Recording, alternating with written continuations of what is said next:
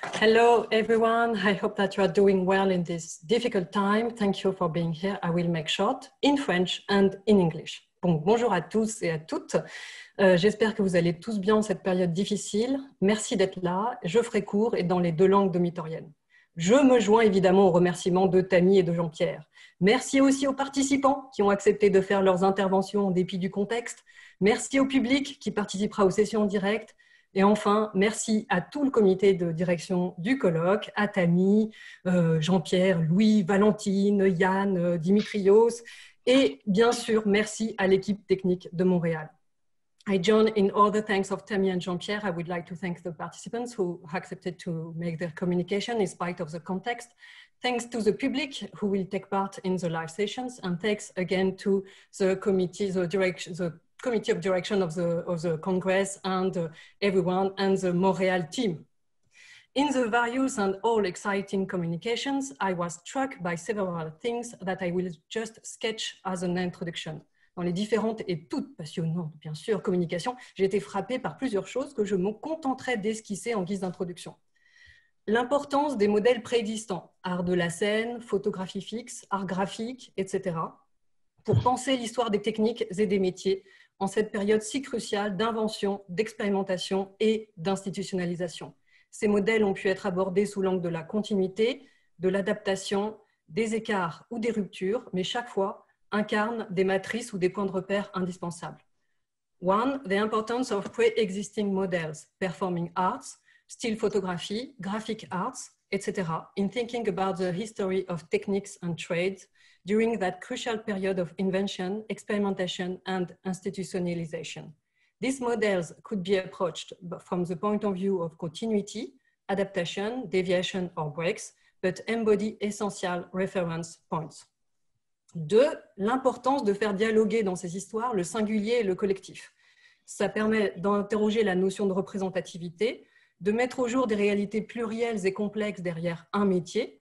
Les communications démontrent la variété des trajectoires professionnelles, les possibilités offertes en matière de mobilité professionnelle, l'importance qu'il y a à interroger finement à travers les documents les tâches concrètes et la division du travail dans chaque contexte particulier.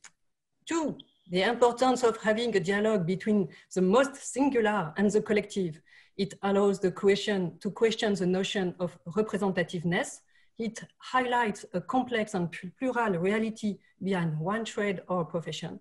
The communications demonstrate the variety of uh, the professional trajectories, the possibilities offered in terms of professional mobility. It also shows the importance of questioning through documents the concrete, concrete tasks uh, and the, divisions of, the division of labor in each particular context. Trois, l'importance de la circulation. Comment circulent les savoirs, les discours, les termes, les personnes et ainsi mieux comprendre comment se construisent des métiers et des savoir-faire propres au cinématographe. The importance uh, of circulation, how knowledge, discourse, terms, people circulate and thus better understand how professions and know-how specific to the cinématographe are invented and built. Enfin, comme le montre le premier panel que je vais maintenant introduire, comment s'articulent métiers et techniques? Qu'est-ce qui détermine quoi? Comment se joue articulation entre division des tâches, invention d'un métier et procédés ou objets techniques qui peuvent autant servir à une seule personne qu'à, par exemple, communiquer entre divers services? Finally, finally, as the first panel that I will now introduce now shows, pardon, sorry, how are professions and techniques uh, articulated? What determines what? How is the articulation between the divisions of task? the invention of a profession and process and technical objects that can be used for one person or, for example, to communicate between various departments. So now we will begin the first panel. So I don't want I don't, I don't know if you want to, to, to stay uh, all visible.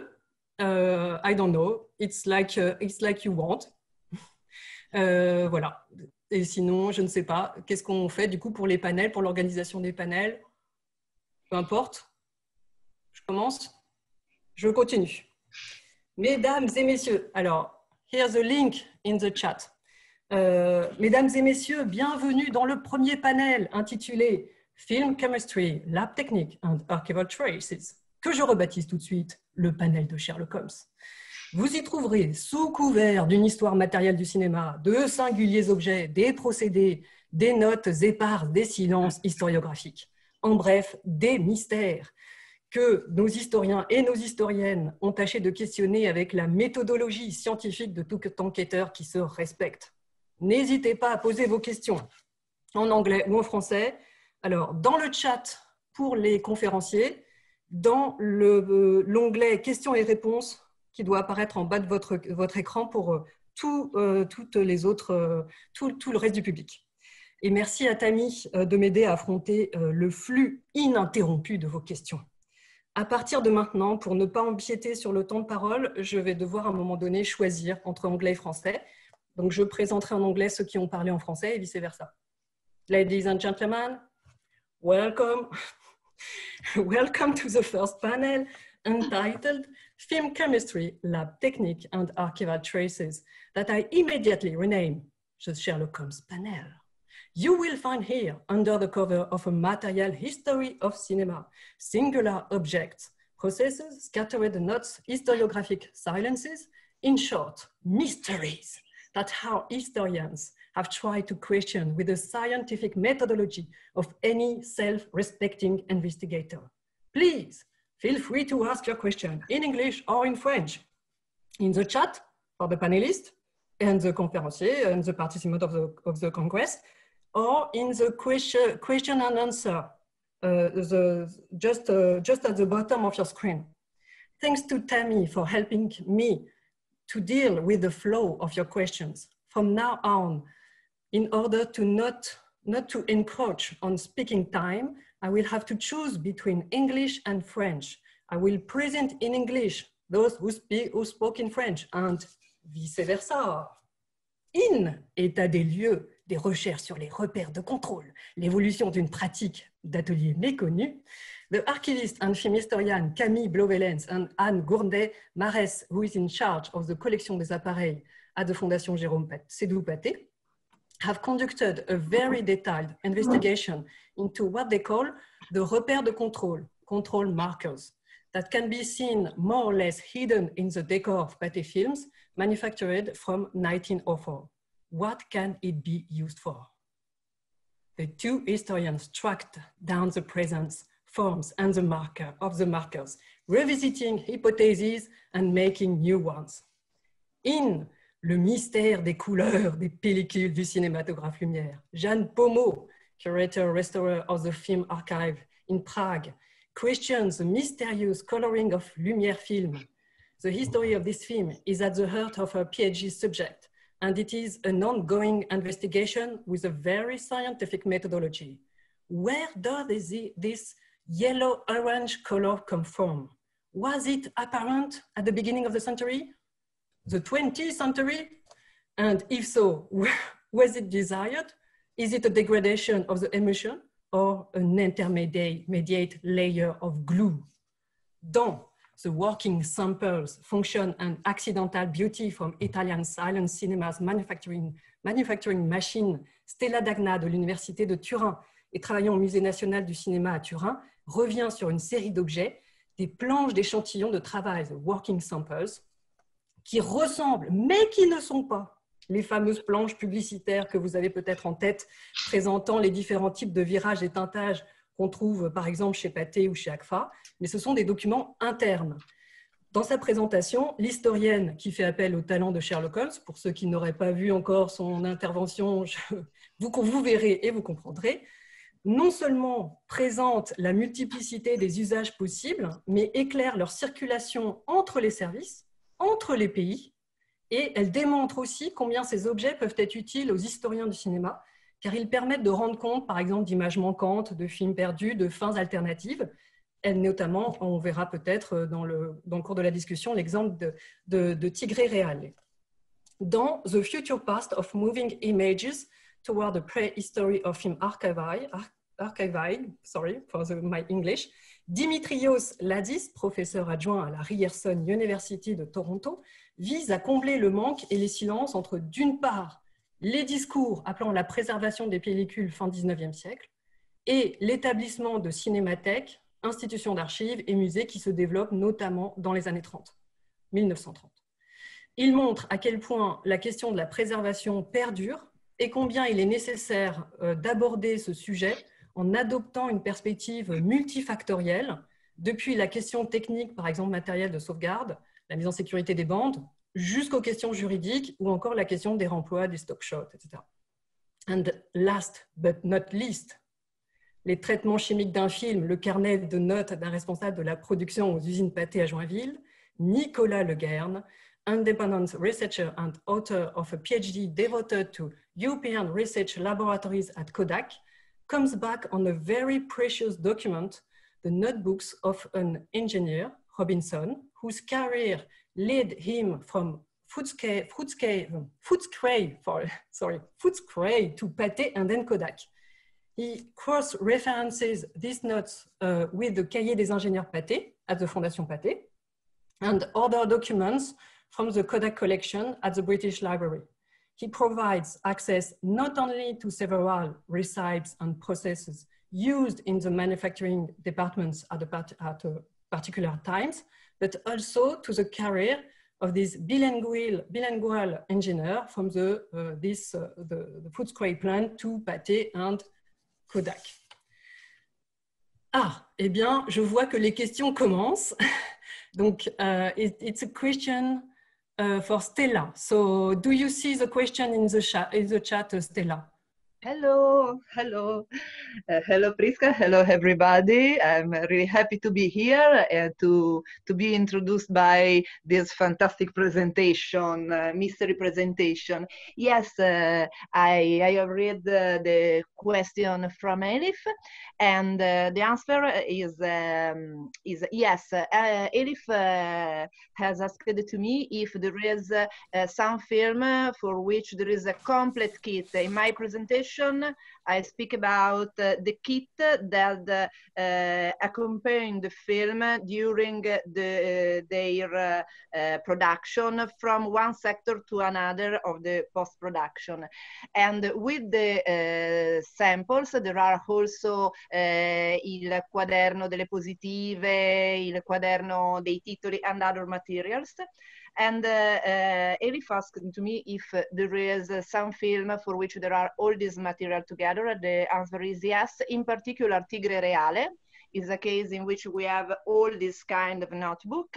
It is the case that I have studied um, more in deep, uh, but there is also for Machiste, the first Machiste. And in other case, there are, for example, only only one or two notebook documents, uh, but these these are the two cases in which uh, the kit is complete. We don't know if for every case, uh, for every film, uh, all these material are uh, completed. It's also possible that for some film, uh, they um, they prepare only one of these notebook, but these two cases are have the complete kit. Alors, I uh, hope I have, uh, I have answer. Okay.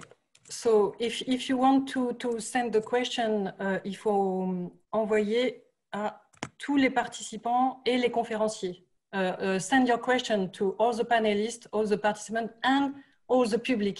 So, I transmitted the, the question uh, by Elif. Um, could you tell us, Stella, um, uh, what about uh, the function uh, of, of this material?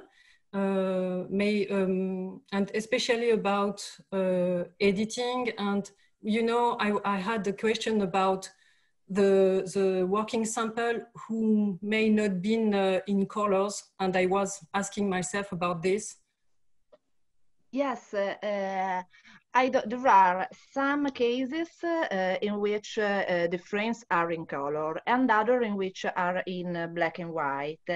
But the function is the real mystery of this, uh, this question of the working samples. But I think that probably they can be used also for uh, uh, the color um, the color trace. But this is only an hypothesis because uh, uh it's normal for uh, for Sherlock Holmes. Uh, there are all, a lot of points that remain mysterious in some cases. So I can make the hypothesis that as they are traced for editing could be also traced for color. But I'm not sure about that. One thing inter interesting is that a lot of these um, these samples are not for uh, prepared for the first release of the film, but for, but for uh, re-edition. And in in this case, for example, for Cabiria, the color change, and so probably in this case, uh, I think that it's is probably that in the lab they are used also for as a color trace, but it's only an hypothesis. Um, the color are very mm-hmm. nice and so probably I, I, like to think that there are also a function of this uh, uh, brightness but I'm not sure. Alors, s'il n'y a pas d'autres questions, euh, peut-être qu'on sur la, sur la question des couleurs, justement, Jeanne, est-ce que tu veux rebondir et nous expliquer un petit peu euh, bah, tes dernières découvertes et puis peut-être euh, nous dire si tu as trouvé des, un des négatifs qui, qui ont les mêmes enfin, qui, qui posent cette question-là en fait de la colorisation, et si dans tes recherches, par exemple dans la presse, est-ce qu'il est fait mention en fait de, coloris, de couleurs de, pour les pellicules lumière ou au contraire de blancheur? Uh, bonjour tout le monde. Uh, hello everybody. I'm uh, hello uh, Priska. I'm very happy to be here with you. So just to start. Euh, oui, alors nous avons euh, trouvé des négatifs noirs et blancs et euh, d'autres d'autres colorés à George Eastman Museum. mes notes montrent un jaune vert et j'ai vu ces matériaux avant de commencer la recherche. Donc, je n'avais pas de méthodologie pour décrire les couleurs. Et c'est très difficile ensuite de pouvoir... Euh, on n'a pas une mémoire des couleurs qui nous permettent de, pouvoir ensuite euh, comparer ce dont on s'est souvenu, ce, dont ce qu'on a vu il y a un an. Euh, et même les photos n'étant pas calibrées, ce n'est pas, pas très pertinent toujours. mais il y a des négatifs qui ont des, des couleurs jaunes très proches de, de, de, de copies positives. Euh, par contre, euh, on a vu la diversité des jaunes orangés, euh, sur les, même sur les, copies. Donc, c'est un peu difficile, justement, avant d'avoir pu faire un, inventaire précis avec une description des couleurs pour chaque élément. Parce que sans ça, on a un petit peu du mal à savoir. D'autre part, les, éléments négatifs observés ne sont pas tous du catalogue il y a certains éléments qui sont en couleur, mais qui font partie de, qui sont des films amateurs. Donc, on ne sait pas euh, forcément si les films, euh, si c'est effectivement de la pellicule euh, négative qui a été utilisée dans la caméra pour la prise de vue. C'est aussi une hypothèse. Savoir est-ce qu'il y avait deux types de, de matériaux. Il y en avait une qui était pour le positif. de toute façon, il y avait deux types de matériaux. Mais est-ce que cet orange était vraiment présent euh, dans les négatifs euh, vendus par Lumière comme négatifs. Ça, c'est une première, c'est une, une, question qui est encore en cours. Et puis alors après, ta deuxième question, maintenant je ne me souviens plus, excusez-moi, rappelez-moi. Oui, bah en fait, tu as presque répondu parce que c'était la question de savoir si tu avais trouvé des mentions dans la presse, mais comme tu l'as très bien ah, dit, mm, comme c'est une question très très subjective, euh, effectivement, c'est peut-être pas. Non, et je pense euh, que le monochrome jaune, de manière générale, et ça se voit beaucoup euh, de nos jours, et la, la, perception qu'on a de, des films, des premiers films, nous montre qu'elle est complètement ignorée. C'est une couleur qu'on ne, qu'on ne voit pas ou qu'on ne veut pas voir. Après, il y a aussi la question des lampes. Il y a, euh, il y a toute, euh, toute une, une, étude et toute une documentation euh, qui est en fait plutôt les manuels pour les, les, exploitants de salles beaucoup plus tard, mais qui explique déjà la complexité de la, la lumière, de, des différentes sources de lumière, des différents types d'écrans. Il y a même des écrans un peu rosés. Enfin, ça, c'est des questions que d'autres personnes connaîtront beaucoup mieux que moi, en particulier dans ce panel. Moi, je, je commence juste ma recherche, donc c'est des pistes qu'il faut encore que je creuse de, de, ce côté-là. Voilà. Tu veux lancer ton appel? Appel à, tous les gens qui ont des, des, films lumière chez eux ou, des, ou des pistes. Oui, tout à fait. Euh, il y a une question pour, euh, pour Camille et, et Anne. Je ne sais pas si vous la voyez dans le chat. Est-ce que tu, l'une de vous? Yeah, uh, I can answer. Um, so I will answer in English. Um, so thank Elise for your question. Uh, everyone sees the question right now, right? I don't have to say it again. Um, no, so this was uh, this was indeed very interesting. The fact that uh, this uh, uh tool, this uh, repère, uh, was only observed on in Pâté film. So it's um, it's we haven't we couldn't see anything similar so far in other companies of the same period.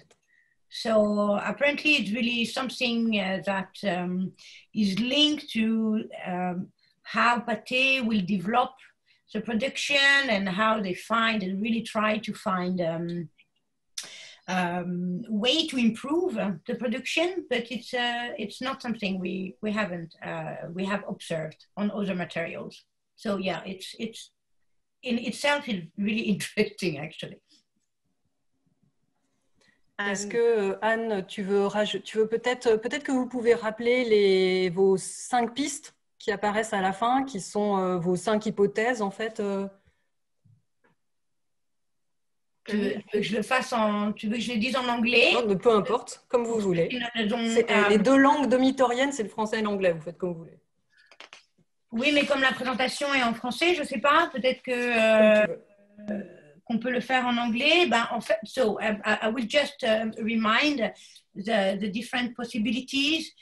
Um, of course, the first um, the, the first hypothesis uh, was linked to the stability, uh, fixité, uh, since it's uh, it's how we started investigating this aspect, and uh, it's uh, uh, for the one who saw the presentation, the, there is a cross that appear in on the, the edges of the film uh, in, in small perforation, uh, small windows on the edges.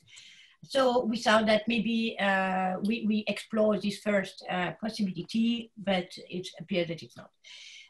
the framing, you, you would say it like this, no? Framing, um, which is also appears that it's probably not. Um, uh, we uh, then saw that maybe it could be linked with light. Uh, since it's white and black, uh, the contrast could be also a way to um, to check the right contrast and control the light uh, in a way. So no. Uh, well, I won't say it all the time for the one who didn't see, uh, so you have some uh, suspense as well. Um, and after how we have three, um, and the last, c'est quoi La distorsion, la distorsion. La distorsion, mais il y a celle d'avant, celle d'avant, for, for the focus. The focus. The focus, exactly. So we saw that uh, maybe it was easier to focus uh, having uh, something that didn't move. That uh, and this was linked to the fact that uh, it's often uh, close to where the action of the actors is on the in the level of the in the deep of the, the depth of the, the frame and finally uh, as an optical for an optical problem which was a distortion of the image so these are the five um, kind of uh, what we try to to investigate and uh, answer to and now I give the word to Anne Euh, oui, bon, je parle français, c'est plus simple. Euh, pour compléter la, réponse euh, pour la question de, de en fait, a priori, il n'y a pas de brevet. non, enfin, moi, j'en ai pas, j'en ai pas trouvé. surtout que c'est une pratique en fait de, d'opérateur et c'est pas c'est pas une invention d'un ingénieur. Donc, a priori, nous, on n'a pas trouvé de, brevet là-dessus. Et, Et effectivement, toute la question est pourquoi, si c'était pour la préparation du tournage, euh, pourquoi il l'a laissé une fois que le problème été réglé? Parce que justement, avec Camille, on pense que c'est un repère de contrôle et qu'il devait servir à contrôler quelque chose au moment de la projection. Donc peut-être un de ces, de ces plusieurs, de ces, de ces différentes hypothèses euh, qu'on a, qu'on a dit dans la, qu'on a évoquées dans la conférence. Alors, vous avez vu que vous aviez une autre question que je vous ai, du coup, je vous ai traduit rapidement là. C'était ah euh, donc, uh, is the importance of uh, repère was only during preparing the shot and the shot, and why was it, what is, was it not removed when the filming started? C'est exactement ce à quoi Anne vient de. But, well, I can answer in English. I can translate what I'm just uh, answered in English somehow. um, yes, it's. I mean, it was a, it, it it was something that we we thought of that it was necessary to keep uh, this information for after shooting. So uh, that's why we think that it's a checking uh, tool it, to check something and not just to prepare before the shooting, but it had to remain uh, on the element even after uh, the shooting on on uh, on the, the, the, so it can be checked probably at a point during uh, the projection. But what was also what helped us also to to formulate hypotheses is the fact that um, it moves from inside the image to the edges of the film. So it's not seen by by by the spectators anymore. We we could see how how Pathé really tried to make it the more discreet possible until it completely take it out and it's only appear on the edges outside the frame, but it's still there. It's still there because it's, it's needed after. So this was really an important, if not, it would have been just uh, used, as you say, to prepare the, the shot and after it would have been removed. But um, so it's, uh, we really have we we really think that it has to be there even after so it can help checking something. Did we answer the question? Merci camille. De rien. Euh, alors euh, oui bien sûr peut-on répéter, répéter toutes les hypothèses, les hypothèses en, en français, français il faut, ben, on peut, il faut on aller peut. voir la Oui, on peut voir la, la présentation aussi. Oui. Les, les... La, la, présentation est très claire. Euh, oui, mais on le à quel moment les marques disparaissent des pellicules demande Jitka. Ben, Euh, Dans les pellicules Elles sont les... visibles ou pas visibles Parce que le... de l'image ou de la pellicule pellicule? Nous Bon, pour répondre, elles disparaissent de l'image. Ah oui, de l'image.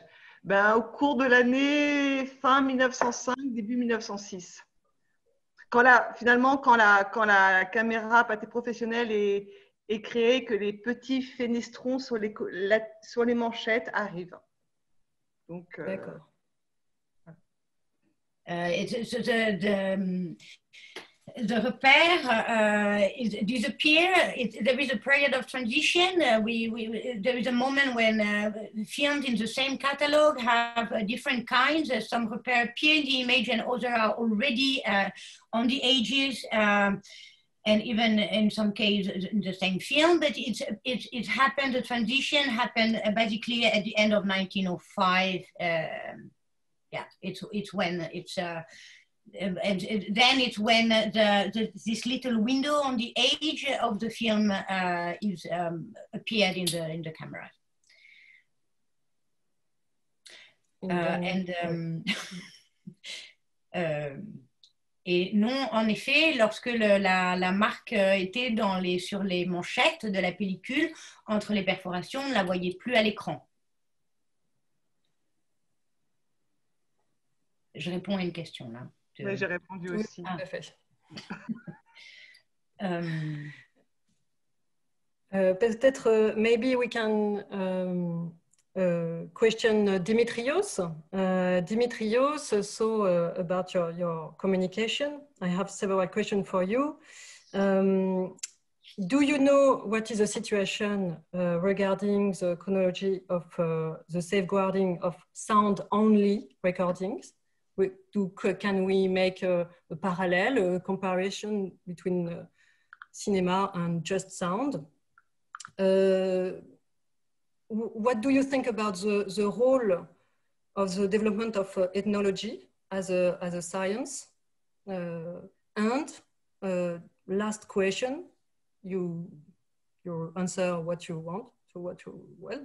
Uh, do you think that the the First World War uh, was able to play a role, uh, of course, in terms of image of the conflict, but also in terms of the fact that uh, the the first the conflict freed up in France, for example, uh, spaces uh, on the screens for new exploitation, a re-exploitation of pre-war films, and well Tell me. Tell us. Euh, d'abord, merci Prisca, euh, merci tous les autres participants, intervenants, les organisateurs, euh, d'être là même en, distance. je veux passer en anglais, mais si vous en avez autre questions, je peux.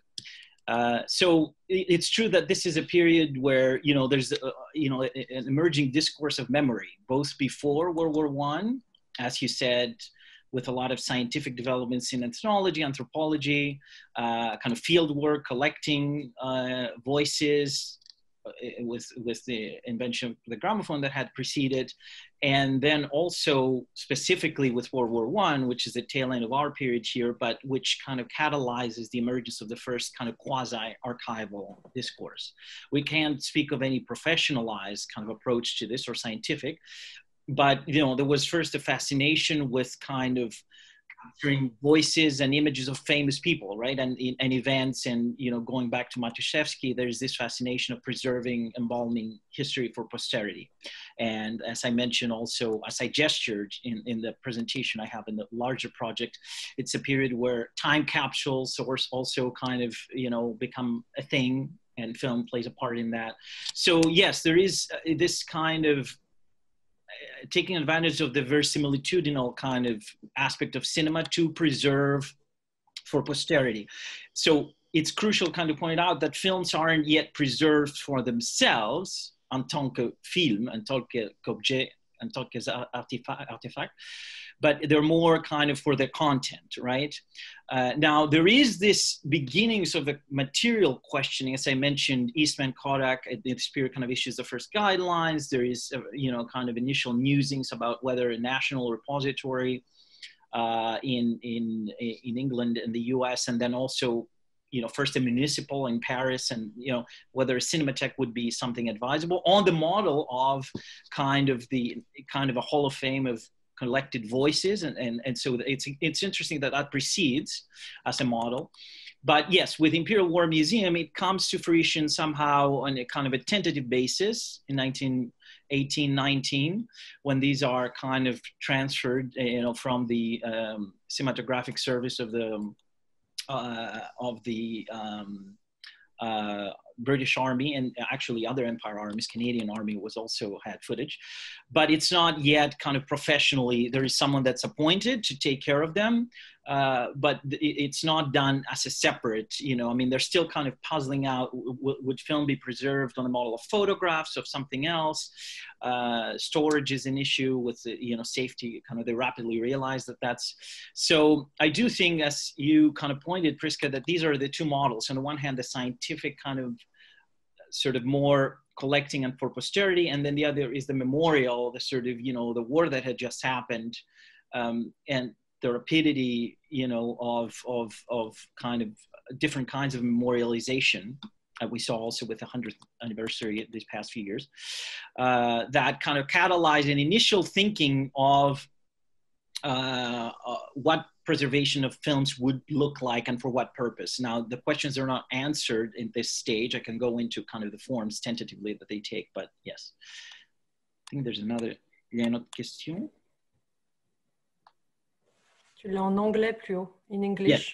Just, just so um, policies of access of archival footage and what criteria for gaining access and for reusing materials. Uh, not anything formal at this point I'm not aware of any kind of use of um, uh, or access or need to access of archival film in an official capacity. The first time this happens is with uh, found footage films that are re-edited uh, beyond our period here. So in the mid 20s, we have the first compilations of films drawing on archival images that are in a very kind of scattershot kind of fashion are compiled in a larger project. I have a detailed analysis of the production of 30 years of motion pictures you know movie parade all these films. And then of course also the montage school in in um, in um, russia which makes with Esfir Shob and others kind of a, a, formal use of archival documents in films like The Fall, The Rise and Fall of the Romanov.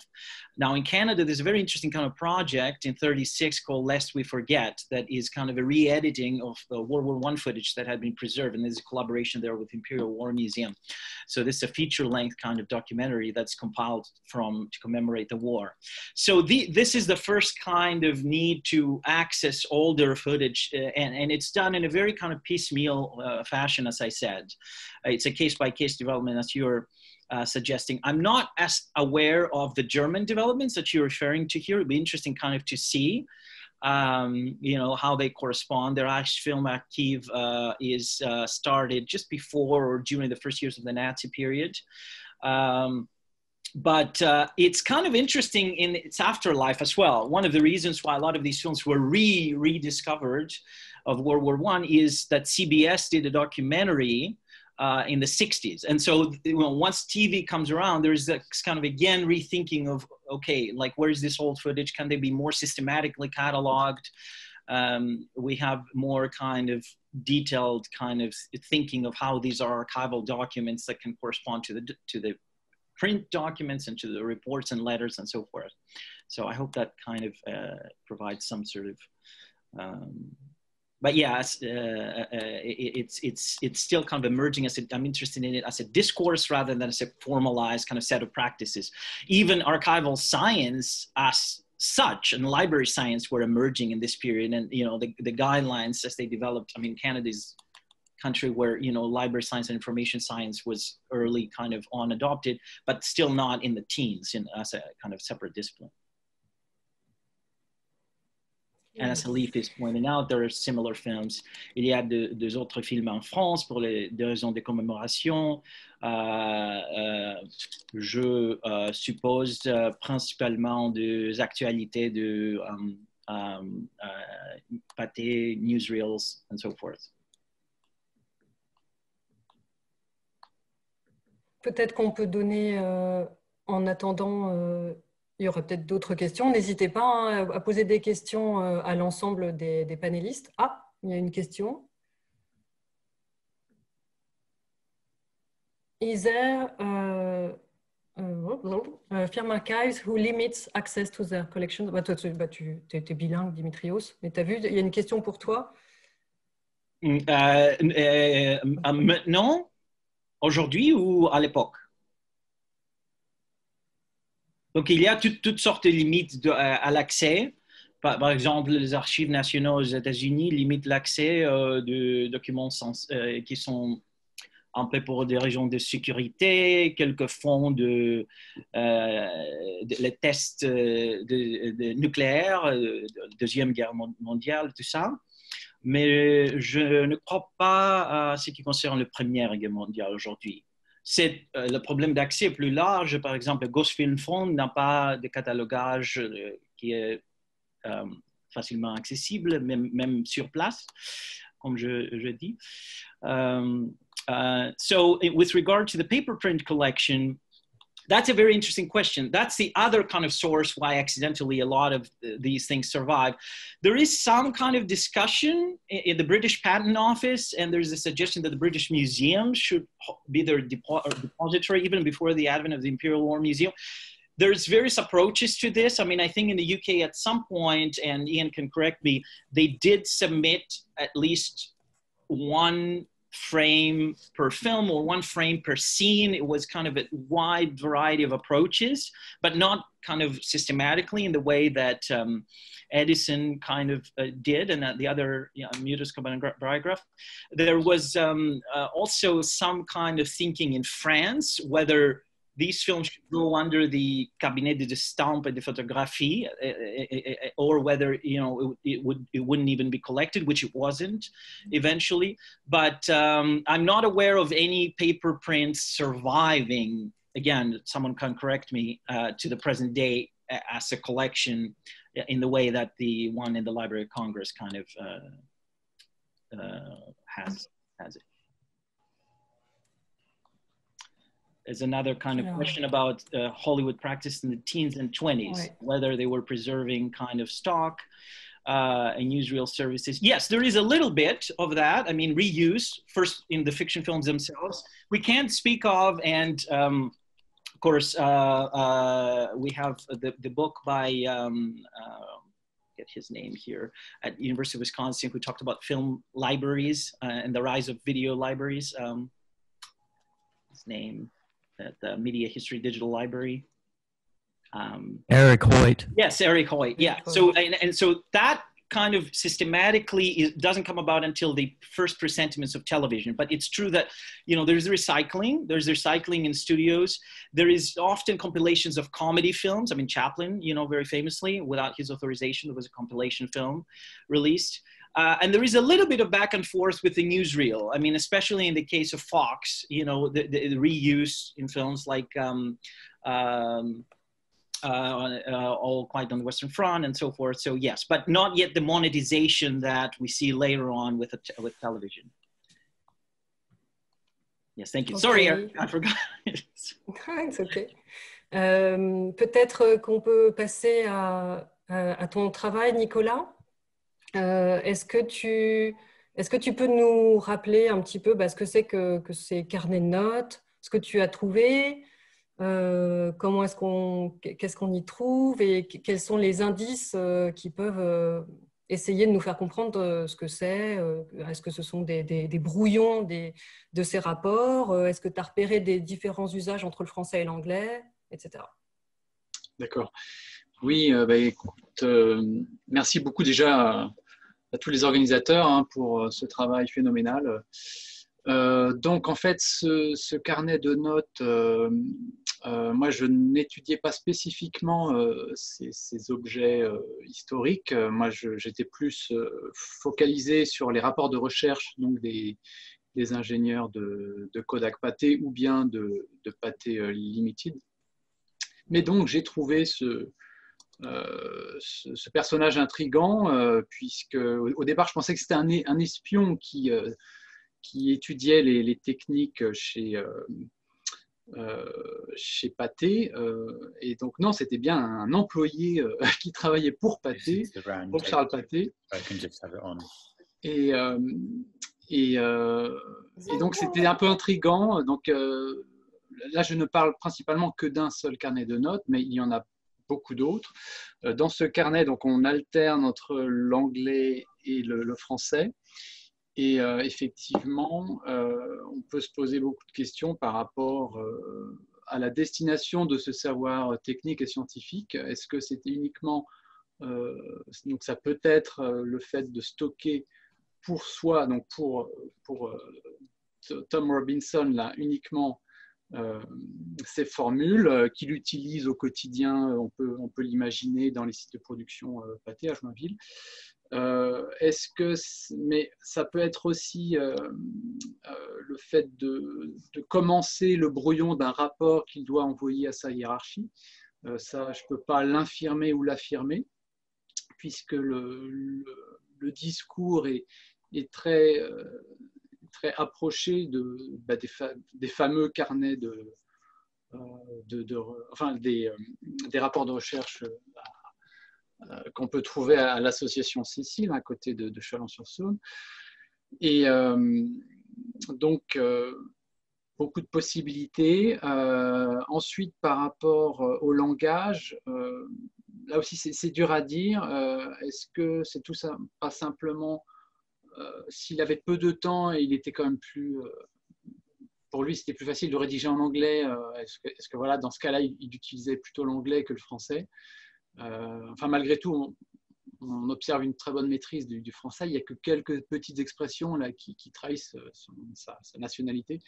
Donc, voilà, il est un petit peu mystérieux cet homme-là, puisque je n'en ai pas trouvé de traces réellement, enfin, dans, toutes les différentes archives que, j'ai pu consulter. Donc, c'est un petit peu difficile de savoir vraiment l'utilité euh, était-ce uniquement pour lui ou est-ce qu'il y avait un petit euh, groupe de, de, ses collègues qui étaient habilités à relire ses notes, à les, à les utiliser euh, dans, dans, ce sens ou dans l'autre aussi Est-ce que lui a utilisé des, des certaines données provenant d'ailleurs Est-ce que lui et Mayer ont collaboré pour se refiler les formules Je ne peux pas vraiment dire. Euh, Jeanne, tu je crois que tu avais une question, non, pour euh, Nicolas? Oui, tout à fait, parce que évidemment, euh, ben, c'est complètement fascinant aussi ce, texte. Je, me demandais si dans le carnet de notes Formula, Substratum et Substratum et Support, s'il y avait des informations sur la composition de, des substractums euh, que de patiner et si euh, s'il y avait quelque chose qui pouvait euh, être s'il y avait quelque chose sur une couleur de ce stratum par hasard. D'accord, d'accord. Sans avoir une question très intéressée. oui, oui. Alors oui, puisque dans le, le carnet dont je, je parle, je, n'avais noté que le titre. Alors je m'excuse, je n'ai aucune reproduction de ce carnet puisque je n'ai pas pu retourner à la, source, à, l'archive, hein, à Londres. Et donc, je n'avais que le titre, je n'ai même pas la formule dans ce premier carnet. Par contre, euh, donc là, j'ai vérifié, j'ai quand même une formule dans le carnet que vous évoquez. Euh, donc, je cite textuellement, euh, c'est le substratum A78, acétate, acétate poudre 50 kg, déchets 50 kg, nitro, donc euh, nitro, euh, nitrocellulose, 20 hein, kg, triphénylphosphate, 17 kg 5 et tricrésylphosphate, 17 kg 5 et pour finir, solvant malaxeur. Fin de citation. Voilà. Donc là, au moins, j'ai une formule de substratum. Euh, je n'en ai pas la date, malheureusement. Et donc là, on est soit les années 10, soit les années 20 voilà ce que je peux dire. Mais euh, j'aimerais, oui, exploiter euh, ces, carnets un petit peu plus et puis euh, quitte à pouvoir les, photocopier ou les, numériser facilement pour une extraction plus simple des données. Quoi. Merci, Nicolas. Tu as une question Oui, ah, une question d'Anne. Non, je voulais compléter par rapport à ce que disait Nicolas, enfin, par rapport à la question de, Jeanne. Dans les rapports des ingénieurs chez, euh, chez Pathé, on a beaucoup de formules de substratum. Je ne sais pas si tu es venu, si tu es allé les consulter. On a énormément de, formules et d'essais. Et, voilà, donc peut-être que tu peux trouver des, informations sur, euh, voilà, sur, sur problématique. Euh, mais, il y en a beaucoup, à mon avis. Et, dans, et la même époque que que le, que le, que le, cahier, que le carnet de, de Robinson. Oui, oui c'est prévu. Et d'ailleurs, euh, euh, je pense que l'analyse euh, photochimique va me donner une, une, piste pour pouvoir creuser plus facilement dans les cahiers. parce que avoir toutes ces formules sans. pour moi, ça, ça, se complète forcément. Parce que c'est vrai que sinon, c'est un, un petit peu difficile de partir à partir de toutes ces formules-là d'une hypothèse. Mais au contraire, euh, une fois qu'on a l'analyse, de pouvoir euh, regarder si par hasard ça se trouve pas dans des formules de substratum. Just to kind of applaud also, it might be interesting to compare with the US context. Uh, I'm thinking, uh, I was reading the um, uh, Josh Eumebi's and Sarah Street's wonderful new book on color, and they make extensive use of the Ingenieur Paté and the uh, notebooks of the Kodak research a little later in the 20s. So um, I'm not sure if any, any of you have, have kind of looked at whether formulas and kind of recipes like that, I mean, is, are, you know, from, from the North American context. Hmm. Je pense que c'est pour toi, Nicolas. Nicolas, tu as deux autres questions. Une question sur euh, Robin Robinson. Est-ce qu'il est référencé parmi les, enfin, d'où venait cet ingénieur? Alors non, malheureusement, non, non on ne le euh, trouve pas dans, dans, les, euh, dans les carnets euh, de, des... Non, non, je n'ai pas trouvé de traces chez, chez Pathé, justement, en tant qu'ingénieur. donc c'est pour ça que moi, je, suppose que c'est un manager de, la production, mais, mais non, non, il n'est pas. donc il, il a des projets, il collabore avec, avec certains ingénieurs chimistes, mais, mais c'est tout ce que je peux en dire. Et je crois qu'il y a une autre question. Oui. Euh, Sur les films ah oui, alors, alors, malheureusement, non, j'ai pas eu le temps de, de voir s'il parle de, des techniques de récupération des films usagés dans ses carnets de notes. Je pense qu'il le fait puisqu'ils sont vraiment euh, très, très denses, très touffus, mais euh, je, de mémoire, je n'ai pas de, euh, non, je n'ai pas trace de, de ce sujet de, de recherche. Euh, Très bien. Oui, tu voulais rajouter quelque chose? euh, C'est bon. Alors, j'ai pas bien saisi la, question de Dimitrios. Je suis désolé. Ah, c'est que je, je, je, me demande plutôt rhétoriquement s'il si, y a pour comparaison le contexte nord-américain, les laboratoires Kodak ou ailleurs, aussi en euh, réfléchissement sur euh, la composition de films chimiques et, ce qui survivent sur les documentations par rapport à... OK. D'accord. So, uh, dear colleagues, the difference between Sherlock and a film historian is that the result of the survey usually involves more, more mystery and questions than at the beginning. So it's time to make a way to make way for the panel number two of this day about the professionalization of filmmaking, moderated by Jan Christie. So thank you everyone and uh, see you in a few minutes. thank you. Right